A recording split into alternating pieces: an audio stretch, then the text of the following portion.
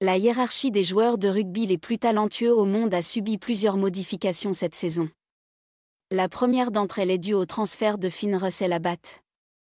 Après avoir passé cinq saisons au Racing 92, le demi d'ouverture écossais a quitté la capitale et le club de Somerset n'a pas hésité à débourser une somme conséquente pour l'attirer. Ainsi le numéro 10 écossais est-il devenu le rugbyman le mieux rémunéré de la planète, avec un salaire estimé à environ 1,2 million d'euros par an. D'après le site spécialisé The Scotsman, Finn Russell surpasse de justesse Owen Farrell, qui évolue actuellement chez les Saracens mais qui deviendra le joueur le mieux rémunéré au monde cet été lorsqu'il rejoindra le Racing. Où son salaire devrait s'élever à 1,5 million d'euros. Ces deux joueurs sont suivis de près par deux Sud-Africains qui jouent au Japon, Cheslin Colby et Faf de Klerk, qui gagnent tous deux plus d'un million d'euros par an. Avec 1 78 000 euros pour le premier au Centauri Saint-Goliath et 1 35 000 d'euros pour le second au Yokohama Canon Eagles. Et les joueurs du championnat de France dans tout ça?